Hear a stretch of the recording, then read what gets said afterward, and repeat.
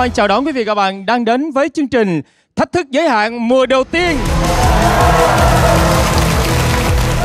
Chương trình do Đài truyền hình Vĩnh Long phối hợp với Z Tiêu thực hiện, được phát sóng định kỳ vào lúc 21 giờ tối thứ năm hàng tuần trên truyền hình Vĩnh Long 1. Thưa quý vị, chúng ta đang ở trong những vòng tranh tài đầu tiên của các producer với chủ đề tự do.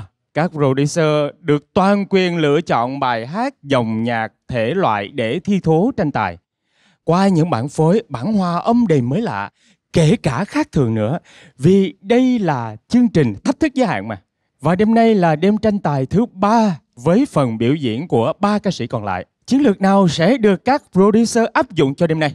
Và bây giờ chúng ta sẽ cùng chào đón ra sân khấu ba producer đó là quý ông tinh tế Tuấn Mario, quý ông biến hóa Minh Đăng và quý ông hoành tráng Tống Hạo Nhiên. À, xin được chào ba quý ông. Ngày hôm nay thì mỗi một đội chỉ còn có một ca sĩ thôi. Đây có phải là gọi là ác chủ bài không ạ? thật ra thì à, cả ba bạn đều đang trong một cái vòng gọi là cái vòng thử sức à, mình muốn là trải nghiệm cho mỗi bạn là làm một những cái bài phối mới để các bạn thử sức các bạn như cỡ nào để mình có thể là vòng sau mình sẽ làm tốt hơn nên mọi sự mong muốn là đều là tốt nhất Ủa anh đâu có ác chủ bài đâu, ai cũng chơi ca nhạc hết chơi nữa Của anh là chơi ca nhạc thuần tí Cái duy nhất trong đêm hôm nay anh muốn gửi đến mọi người là anh phải cho bạn đó cháy hết sức có thể của bạn đó luôn. Em đang thử các bạn vào những môi trường mới. Cái gì nó cũng phải thử. Thì đây là cái vòng thử nghiệm để xem coi với mình với các bạn có chung tần số không? Ừ. mình có làm đang đi đúng rồi. hướng không? Vòng này nhiên cũng đang muốn thay đổi bạn. Dù là số điểm như thế nào nhưng mà mình vẫn hy vọng là bạn sẽ mang lại một tiết mục tốt dĩ nhiên là mỗi người sẽ có một chiến lược khác nhau tuy nhiên, sau đêm nay thì mới hạ hồi phân giải xem là chiến lược sắp tới của các anh ứng dụng trên từng ca sĩ là như thế nào, đúng không ạ và giờ thì xin mời các anh về với vị trí của mình ạ. Xin mời ạ. Còn ngay bây giờ chúng ta sẽ cùng chào đón ra sân khấu hai vị giám khảo vô cùng quyền lực. Ca sĩ nghệ sĩ Tú Vân Khánh và nhạc sĩ Nguyễn Văn Trung. Và xin được chào đón ca sĩ nghệ sĩ Tú Vân Khánh và nhạc sĩ Nguyễn Văn Trung đến với chương trình hôm nay. Khi nãy thì à, à, cả ba producer cũng nói là đêm hôm nay họ sẽ chơi tới bến. À, với những tiết mục có thể là họ đã đặt để rất nhiều kỳ vọng vào. Tuy nhiên với vai trò là giám khảo thì anh chị có kỳ vọng như thế nào về tiết mục ngày hôm nay ạ? Chung kỳ vọng là đêm nay à, ba anh producer sẽ chơi tới bến thật sự. Bởi vì à, hai tập trước thì mình có cảm giác là mọi người đang đo các bạn ca sĩ và đo nhau xem à anh kia có gì hay anh này có gì hay. Và hôm nay mình nghĩ là đã đến cái giai đoạn giữa cuộc chơi rồi thì chắc chắn là ai cũng sẽ muốn bung sức. Hôm nay mình thấy các uh, producer mà chơi uh, tới bến phải không? Thì mình cũng tưởng tượng âm nhạc hết mình luôn. Và mình cũng đặt tất cả những cái tình cảm và những cái tâm tư của mình vào những cái bài hát đó biết đâu được hôm nay mà uh, hỏi thử tống hạo nhiên có gen sân khấu á biết đâu được trong cái nhạc trẻ mà có đưa vô mấy cô dụng cổ gì không? Đi lạ lạ em. Ha tại vì bây giờ cái cách mà hòa âm phối khí nó có thể tạo những cái mà đột phá dạ, nhiều khi người ta không nghĩ đến. Dạ giống như là chị Vân Khánh đã từng đem chầu văn bản remix và chung với rap nữa. Đó. Rất là cảm ơn những chia sẻ đến từ hai vị giám khảo và bây giờ xin mời hai vị giám khảo về với vị trí của mình ạ thưa quý vị như vậy là hôm nay mỗi đội chỉ còn một ca sĩ thôi. Nên nếu như Vũ Mạnh Cường nói tên producer nào thì quý khán giả sẽ biết được ngay là ca sĩ nào sẽ bước ra tranh tài. Thế nên tiết mục mở đầu Cường sẽ không nói gì luôn. Để ờ, chúng ta hãy cùng xem là chào đón ai sẽ bước ra ngay sau đây. Vòng này thì ờ, uh, Nhiên sẽ cử bạn ờ, uh, Trịnh Khâm Một giọng ca có nội lực Và bạn sẽ trình diễn ca khúc Ánh sáng đời tôi. Bản hòa âm này thì Nhiên muốn làm một cái thể loại nó hơi đặc biệt một chút xíu, Một thể loại mà Nhiên rất là yêu thích Raw Music. Hy vọng là Trịnh Khâm sẽ thấy được cái bài hát này, tại vì à, một một thể loại này nó đòi hỏi à, xử lý bài hát rất nhiều và thể hiện cái giọng của mình cũng rất nhiều và đặc biệt là cái bài này nó cao quãng nó rộng. Thì nhiên mong muốn trịnh khâm sẽ tải một cái nỗi cô đơn, u uất, chỉ còn le lói một tia sáng cuối cùng là một tia hy vọng thôi, để bộc phát ra ngoài một cái điều gì đó trong lòng của mình, thì hy vọng là khâm sẽ tải được cái bài hát này.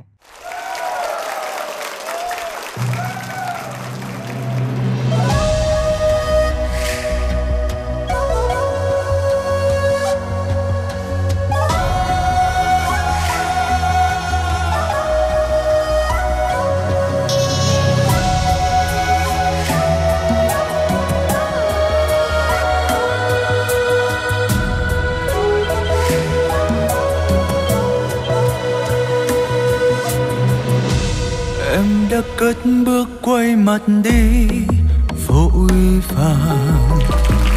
Chuyện hôm qua khiến cho lòng ta ngỡ ngàng. Giữa căn phòng im, tiếng cười ngoài kia gió gào, mưa vẫn rơi. Mong em sẽ thứ tha lời nói giờ đây giữa trái tim còn in bóng hình. Có em kề bên nói cười, người là ánh sáng của đời tôi.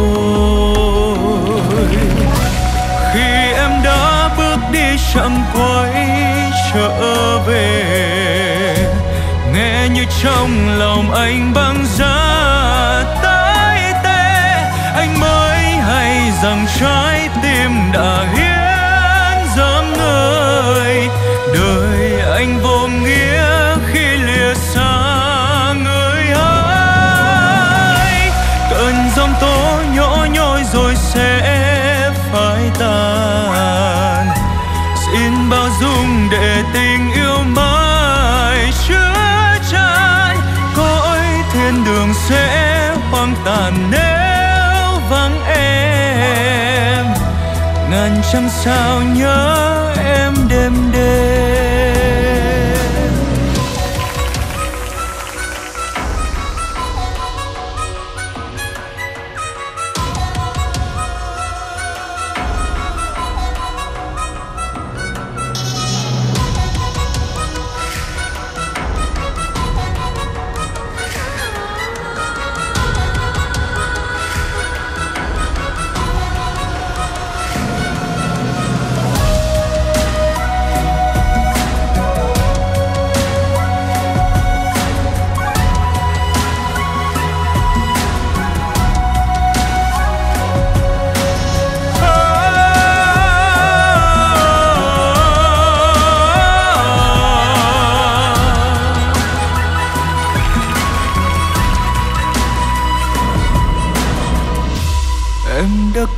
Bước quay mặt đi, vội vàng.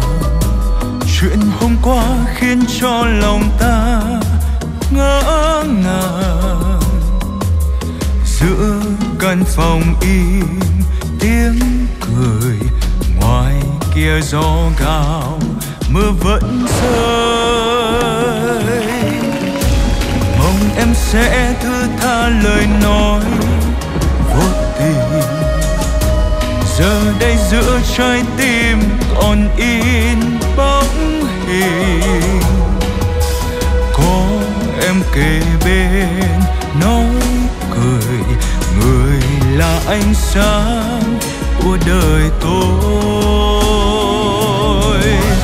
Khi em đã bước đi chẳng quay trở về, nghe như trong lòng anh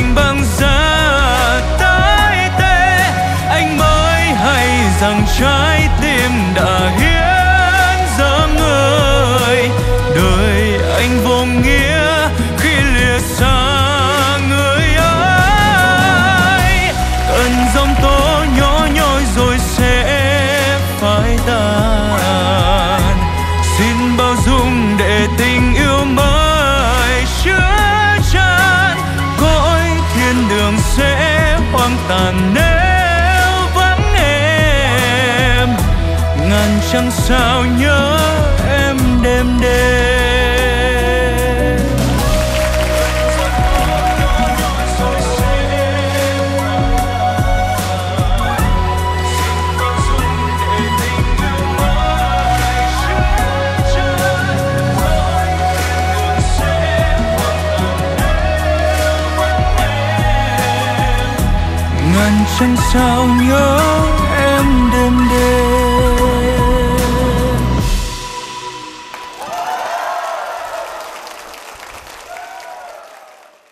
Ra thì bây giờ thử thách quá thử thách. Các bạn chọn vào những cái bài mà khỏi phải nói là khó trên cả khó. Mà hôm nay thì thật ra là khâm chắc có lẽ là sức khỏe không có tốt lắm hay sao đó. Không sao cả. Mình sẽ sửa lỗi. Qua những lời góp ý mình sẽ thay đổi. Em cứ yên tâm nhưng mà dù sao khâm vẫn là một cái giọng anh rất thích. Và bữa nay trình diễn cũng rất là tốt. Chúc mừng khâm. Cảm ơn những chia sẻ của Tống Hạo Nhiên. Còn uh, Trịnh Không, ngày hôm nay em có gặp áp lực gì không? Và trong quá trình luyện tập chung với lại anh Tống Hạo Nhiên thì em thích nhất điều gì? Dạ, thật ra thì ờ, cũng không áp lực lắm. À, và đây cũng là một ca khúc mà em rất là thích từ giai điệu cho đến ca từ.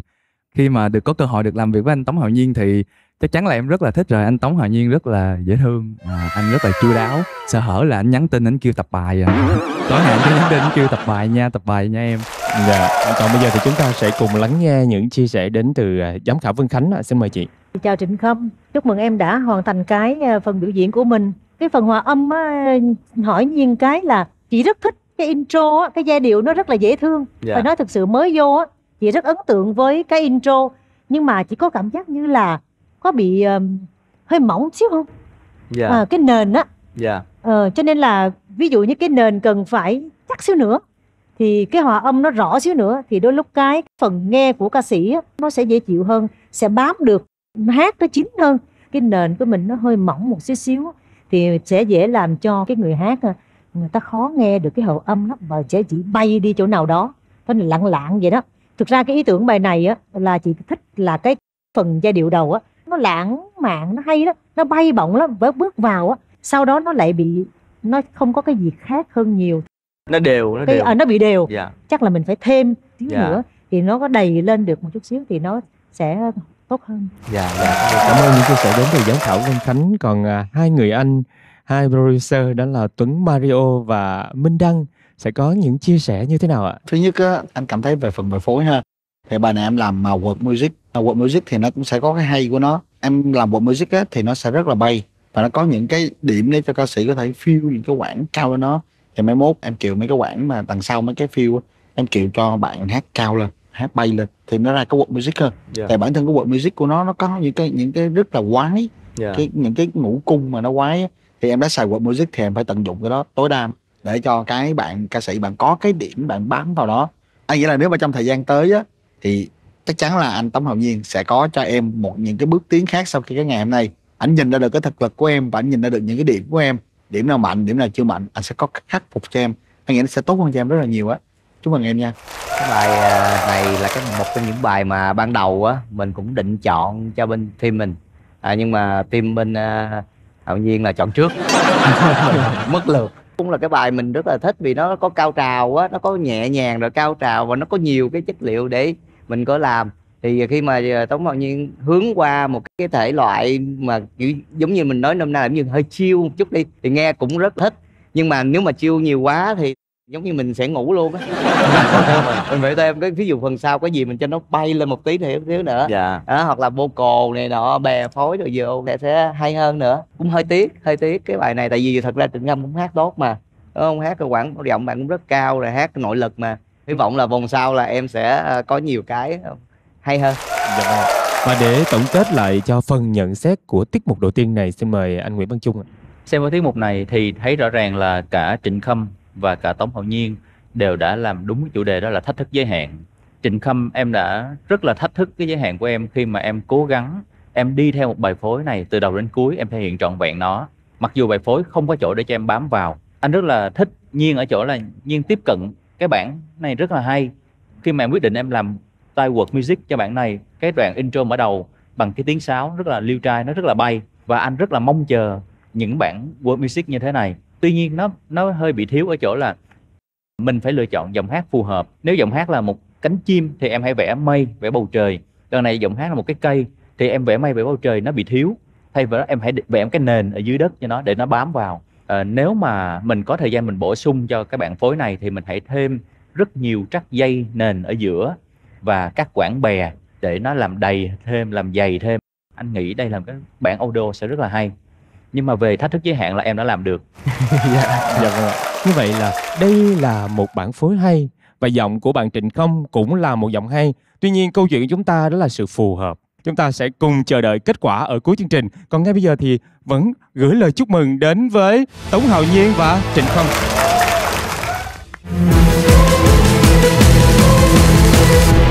Và tiếp theo sẽ là màn tranh tài đến từ đội của producer Tuấn Mario. Trong tập này Tuấn sẽ chọn bạn Công Thành biểu diễn bài hát Có hẹn với thanh xuân. Trong bài hát này Tuấn sẽ cố gắng mang mọi người trở về thanh xuân hồi xưa, cùng nhau cấp sách đến trường, cùng nhau đạp xe tới trường và cùng nhau có những cái kỷ niệm vui nhất của thời thanh xuân, những gì đó mà nó đẹp nhất của thời thanh xuân mình sẽ mang hết vào cái bài hát này.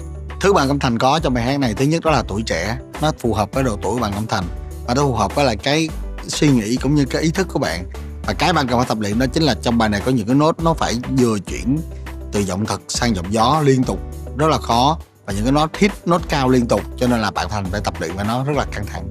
Do đây là một phối khá là phức tạp, nó gồm có R&B nè, gồm có pop nè, gồm có rock nè. Cho nên đó cũng là một cái điều mà bạn rất là khó cho bạn. Nhưng mà sau cùng thì thành cũng đã quý quyết được những vấn đề đó bằng sự nỗ lực của bản thân của mình.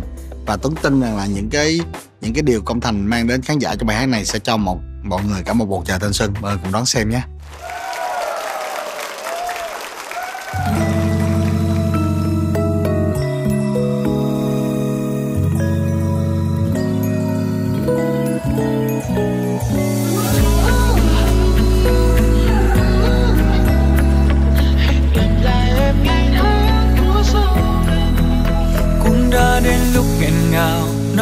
Chào đến mối tình đầu.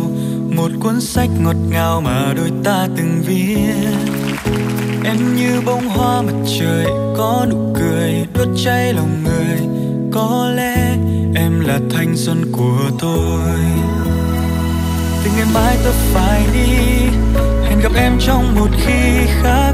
Kỷ niệm đôi ta đành ghi nhớ trong tim. Này người ơi, em đừng quên, lần đầu tiên ta bước đến. Mình đã chìm vào vùng trời yêu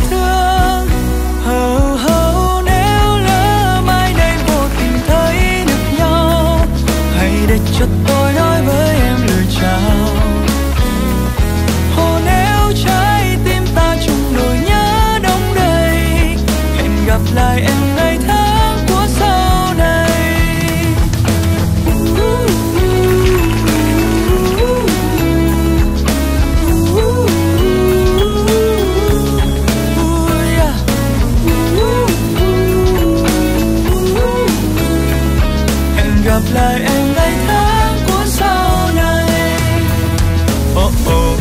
giờ đang nơi xa.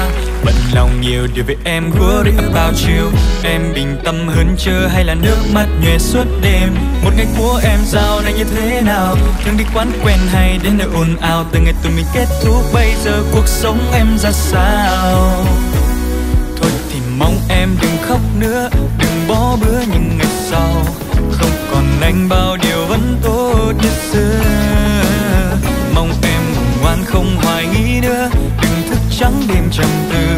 Vì anh chẳng muốn thấy người mà mình yêu đâu.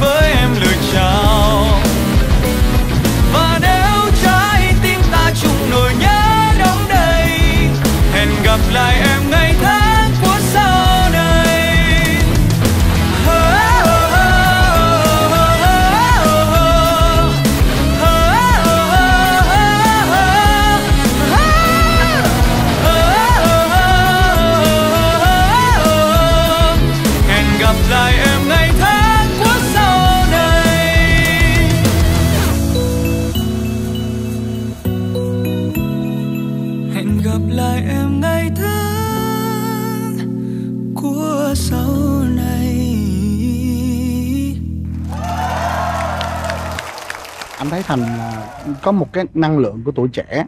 Và khi cái năng lượng tuổi trẻ đó anh muốn nó phải bùng tỏa lên nó lan tỏa lên. Cái năng lượng đó phải được nhân lên. Cho nên anh quyết định chọn cho thành một cái bài là có hẹn với thanh xuân. Anh cảm thấy là cái nhiệt huyết của thành khi mà hát cái bài đó nó làm cho anh cảm thấy rất là vui và phấn khích với điều đó. À, anh cảm ơn thành đã sư hát rất là tốt. Còn uh, với Nguyễn Công Thành. Em là ca sĩ cuối cùng của đội anh Tuấn Mario. Em bị ém lại cuối cùng đó. Khi làm việc với anh Tuấn Mario thì uh, cảm nhận của em sao? Em chia sẻ nè trở thành một thí sinh cuối cùng thì cũng ờ, là một cái ờ, khá là áp lực với em. Còn ờ, về việc làm việc chung với anh Tuấn thì cũng như mọi người anh Tuấn rất là thoải mái và em cũng rất thoải mái. Mọi người đều hòa hợp với nhau từ những cái ý tưởng rồi là từ những cái kế hoạch để mà đi để làm ra một cái beat cũng như phần trình diễn như này thì không có gì vướng bận. Với cái bản hòa âm vừa rồi thì có làm khó em không? Nếu mà nói không khó thì cũng không phải nhưng mà em rất thích cái bản phối này cho nên em đã cố gắng hết sức để hết tình với nó Bây giờ thì chúng ta sẽ cùng lắng nghe những vị giám khảo sẽ chia sẻ như thế nào về tiết mục vừa rồi nha. Dạ, xin mời uh, nhạc sĩ Nguyễn Văn Trung ạ. em có biết là nếu mà trừ đi những cái đoạn mà em hú hú lên mà nó tét lét á thì anh đã cho em 10 điểm rồi đó thực sự em là một viên ngọc thô giọng hát của em rất đẹp giọng hát của em nó vừa vặn và nó rất trẻ, nó rất là dễ hút. Các bạn trẻ bây giờ nó rất là bắt tai, nó cũng rất là cảm xúc khi mà em hát. Dường như là cái hơi của em nó rất là tự nhiên, trừ những cái đoạn cao trào quá, em không có kiểm soát được mình vào những cái khúc cuối thôi. Nhưng mà anh tin nếu mà em được rèn luyện, em mà phấn đấu hơn thì em sẽ có thể tỏa sáng trong tương lai về các bạn phối này thì anh thấy rất thích là bởi vì anh Tuấn đã gọi là đo ni đóng giày đúng cho em luôn đúng cho chất giọng của em đúng cho cái cách biểu diễn của em trên sân khấu. Từ những cái sao tiếng anh Tuấn là dùng tiếng um, piano điện và tiếng bell. Nó gợi cho chúng ta nhớ đến cái thời thanh xuân. Nó rất là tươi trẻ nó rất là năng lượng nó rất là trong sáng. Nó làm cho mình bồi hồi quay trở lại cái thời điểm đó. Và đây là một bản phối rất là hay của anh Tuấn ở đoạn đầu rất là êm dịu nhưng mà đoạn sau nó lại có cái sức trẻ nó bùng nổ lên. Cũng chính vì thế năng lượng bài này mang lại hoàn toàn cho mọi người cảm giác rất là tươi mới và dễ chịu chúc mừng anh Tuấn Mario và Nguyễn Công Thành Cảm ơn những chia sẻ đến từ nhạc sĩ Nguyễn Văn Trung. Còn uh, với producer Tống Hậu Nhiên thì bạn sẽ chia sẻ như thế nào? anh Trung nhận xét coi như là gần hết rồi đó những cái gì mà cần nói thì cũng như là nói hết rồi chỉ có là cái bản phối á à, em nói về bản phối một xíu là anh Tuấn Mario ảnh có những cái tinh tế ở trong đó rất là nhỏ những cái tiếng guitar nhỏ nhỏ, nhỏ khi mà những cái quản nghĩ đó những cái đó làm cho mình mình cuốn mình mình thấy cảm thấy hứng thú. Thật sự là mình học được rất là nhiều qua những người anh như vậy. Mình học được rất là nhiều. Cảm ơn ờ, một lần nữa cảm ơn bạn Văn Thành và cảm ơn anh Tuấn đã mang lại một tiết mục cảm ơn em. Dạ, như vậy là uh, tham gia với lại uh, thách thức giới hạn thì có bộ là Tống Hậu Nhiên uh, được lợi quá ha, học quá nhiều luôn không? Học quá trời quá đất luôn ạ. Còn uh, với anh Minh Đăng anh sẽ chia sẻ như thế nào ạ? người cuối cùng mà chắc là phải nói là như bên phải và như bên trái cả như hai bên ý quá mà đúng không Thì thật ra là ngay từ đầu là mình đã rất là thích bạn giọng hát của bạn này dù hát nhạc sung sôi động nhưng mà mình nghe rất là tình cảm nhưng mà không có buồn tình cảm nhưng không có buồn rất là tươi rất là khỏe khoắn Kiểu nhưng mà bài phối cũng hay nữa nói chung là tiết mục là rất là hòa hợp hai người rất là hòa hợp chúc mừng đội tuấn có thể anh sẽ kiếm em trong tương lai đó À, dạ, có thể là sẽ uh, có cái đơn đặt hàng đến từ nhạc sĩ Nguyễn Văn Trung nha. Dạ, chúc mừng trước. Ha. Ờ, còn bây giờ thì chúng ta sẽ cùng lắng nghe giám khảo Vân Khánh. Xin mời chị. phải nói rằng là khi mà cái bản hòa âm nó cất lên á em tưởng tượng như ra một có một bộ phim á, mà, mà bắt đầu cái bạn trẻ mà còn sách ba lô lên á tiếp tục bước bắt đầu chuẩn bị cho một cái cuộc hành trình đó. cái tiết tấu đó, nó thúc giục phải không anh? Tức là mình cảm thấy nó tràn đầy sinh lực rất là thanh xuân đúng như với cái tựa đề kết hợp với một cái bạn có một hình dáng rất là sinh viên rất là dễ thương giọng hát rất là trong và mạch lạc nha. Bạn hát rất rõ ràng. Nó nó có cái gì nó rất là tự nhiên nhưng mà rất chạm đến trái tim. Chỉ có là một cái ờ, cái bài này thực ra cái quãng nó cũng khó. Nó treo không mà treo nốt không mà bạn phải thực hiện rất là nhiều lần. Tới lúc lúc nó bị ép một cái thôi nhưng không sao. Tức là cái cái quan trọng là bạn đã có một cái giọng hát tốt và bạn hát rất tình cảm. Cứ duy trì cái điều đó nó sẽ rất là tốt. À để sau này đó bằng chứng là bây giờ đã có một đơn đặt hàng ở đây rồi đó. Cho nên là em cứ yên tâm điều đó. Và nói thật là rất thích cái phần hòa âm của anh Tuấn. Nó cảm Hợp. thấy nó ờ, Chị- rất là chị, chị có hợp cảm thấy thanh xuân. Thanh xuân đúng rồi. Mình tưởng tượng là mình nghe là muốn xách ba lô là đi phượt luôn á. Đó là mình tưởng tượng á. Dạ, dạ, này dạ. này nói tưởng tượng. Dạ, dạ. À, một lần nữa xin được cảm ơn những chia sẻ vừa rồi. Như vậy là một tiết mục hòa hợp. À, xin được chúc mừng anh Tuấn Mario, bạn Nguyễn Công Thành. Còn kết quả chúng ta hãy cùng chờ đợi đến cuối chương trình quý vị nhé.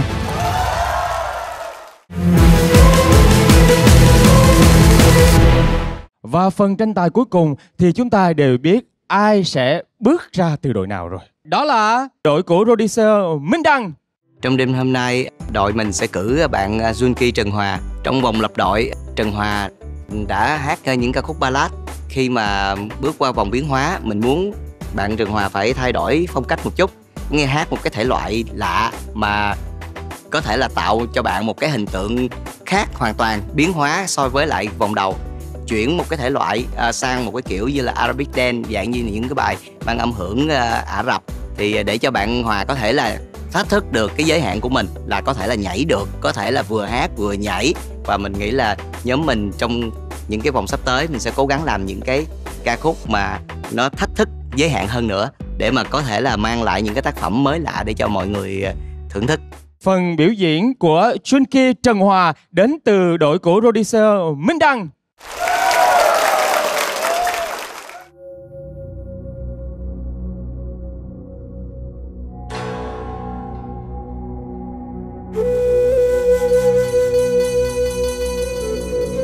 Tiêu lúc nào cũng làm cho mình cảm giác nó huyền bí ha.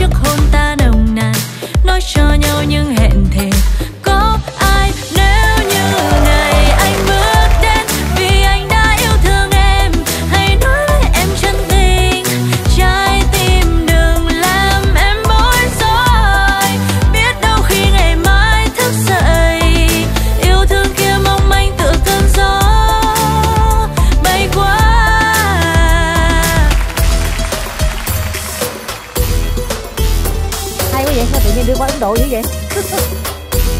Đi xa chút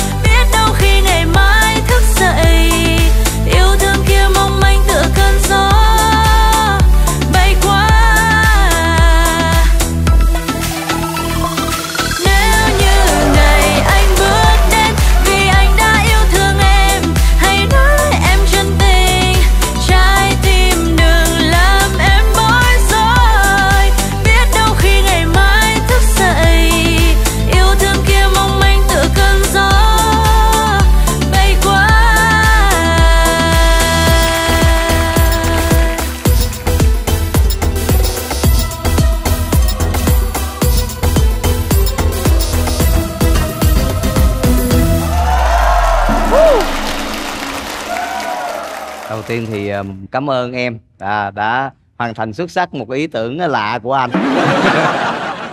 Mặc dù anh biết là em, hôm nay là em là người cuối cùng thì em rất là áp lực và có nhiều thứ ờ, yếu tố làm cho em không được tốt lắm. Nhưng mà đối với anh anh thấy vậy là anh cũng rất hài lòng rồi, là em cũng làm hết mình rồi. Ngoài cái chất giọng mà nội lực lúc mà cái vòng đầu đó thì à, mình thấy là hòa cũng rất là nhí nhảnh cũng rất là dễ thương. Trong quá trình làm việc thì mình cảm thấy à tại sao mình không làm? Bài gì nó sôi động và đã sôi động thì nó lạ nữa. Nên à, đó là từ đó là mình mới quyết định là mình làm theo cái kiểu này. Cảm ơn Robinson Minh Đăng. Còn với uh, Junkie Trần Hòa, em cảm nhận như thế nào về bản hòa âm này? Và cái điểm nào của bản hòa âm này là em thích nhất? thì đây là vòng thứ hai em xuất hiện ở đây rồi. Thì cái điều đầu tiên em cảm nhận đó là em cảm thấy mình rất là may mắn vì là đang ờ, được anh Minh Đăng làm cái người ờ, có thể là cùng sản xuất nhạc ừ, để cho em có thể được ờ, thỏa sức em sáng tạo và em được thể hiện bản thân. Bài hát này thực ra là một bài với em rất là quen thuộc rồi, với mọi người rất là quen thuộc rồi, nhưng mà ừ, được anh Minh Đăng remake lại ờ, và em cảm thấy là đối với cái bản phối này á thì em có thể là làm được nhiều thứ hơn như kiểu là trước giờ thì em chưa từng vừa hát vừa nhảy nhưng mà hôm nay là ờ, qua cái bản phối này em có thể được kiểu làm mới bản thân ạ em biết là sẽ có những cái nó chưa được hoàn hảo lắm nhưng mà em vẫn mong là mọi người sẽ ờ, yêu mến bản phối này cũng như là giọng hát của em qua bài hát này Dạ vâng. Dạ. Cảm ơn những chia sẻ của Junkie Trần Hòa. Và anh Minh Đăng ơi, có thể đưa bạn này trở thành gương mặt đại diện để trả lời phỏng vấn cho nhóm của mình nha. Cho team của mình nó khéo léo quá trời luôn. Dạ. Rõ ràng là đúng như tên gọi của anh Minh Đăng khi đã đến với lại thách thức giới hạn. Đó là quý ông biến hóa. Ai mà đến với đội của anh xong em không nhận ra họ luôn. Ngay kể cả nghệ sĩ ưu tú Văn Khánh khi mà thể hiện bản hòa âm phối khí của anh em cũng không nhận ra chị Văn Khánh luôn. Đó. Và bây giờ để tránh tình trạng này như trên đến từ chị Vân Khánh.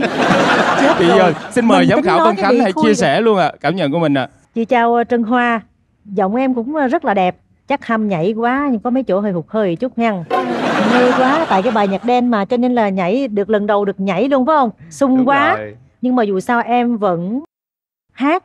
Là chú là làm trọn vẹn một cái bài hát của mình Thể hiện đúng cái ý tưởng, ý đồ của nhà producer. Còn mà mới quay qua hỏi năng ủa cho, cho, cho đi đâu xa dữ vậy? Qua lúc bên trung đông dữ vậy trời?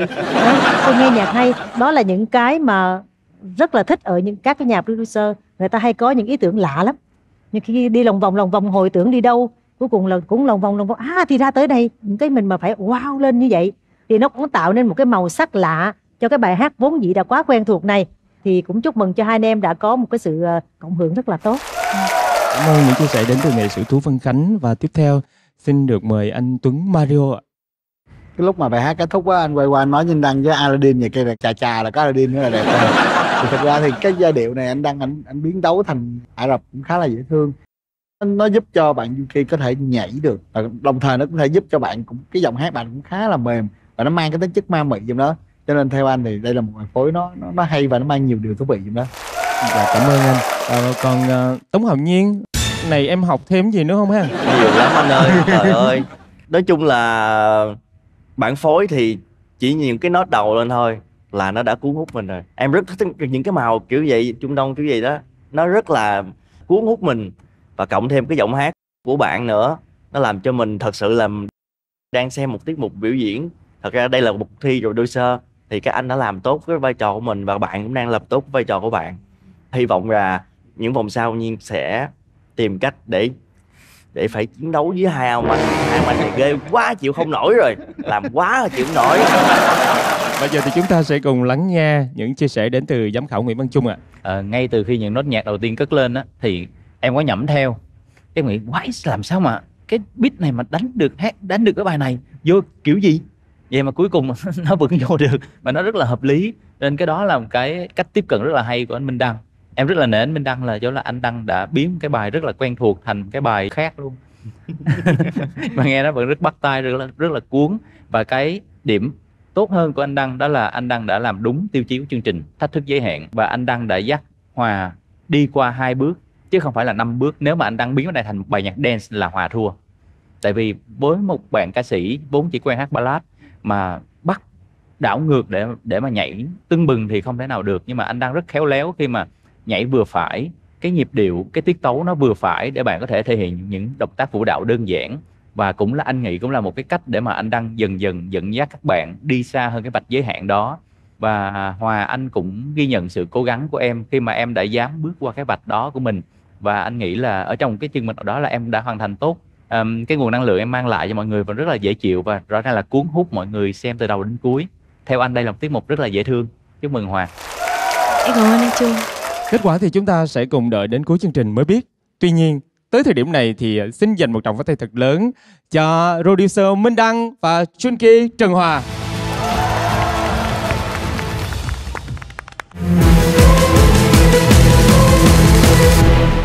Và như thường lệ, khép lại đêm thi hôm nay sẽ là một món quà, một sự bất ngờ đến từ những vị producer hay là những vị giám khảo khách mời.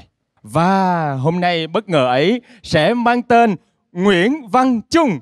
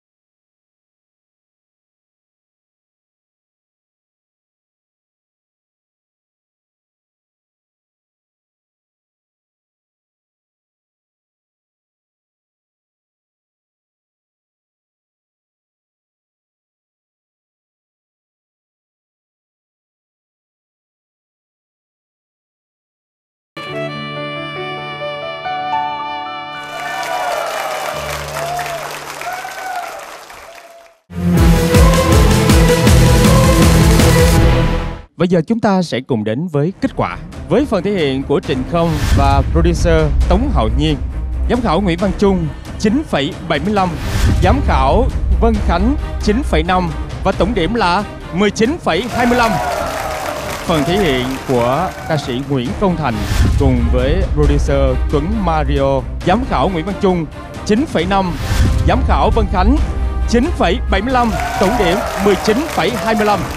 Phần thể hiện của Junki Trần Hòa và producer Minh Đăng, giám khảo Nguyễn Văn Trung 9,75 và giám khảo Vân Khánh 9,5 tổng điểm 19,25 như vậy là cả ba đội chúng ta đều bằng điểm nhau. Xin được mời hai vị giám khảo và ba producer sẽ tiến lên sân khấu ạ.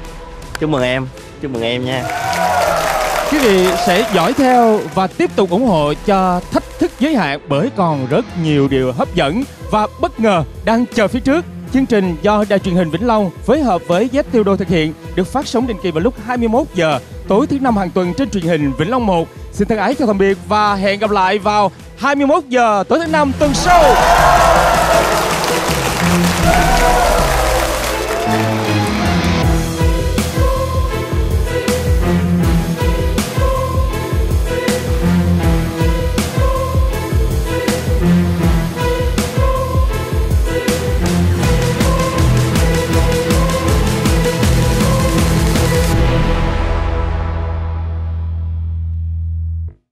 Giới hạn, Sau vòng thi biến hóa, Các producer cùng những ca sĩ của mình Sẽ bước vào một thử thách mới. Vòng thi chủ đề Âm vọng xưa Với những bản tình ca bất hủ Sẽ được làm mới lại như thế nào?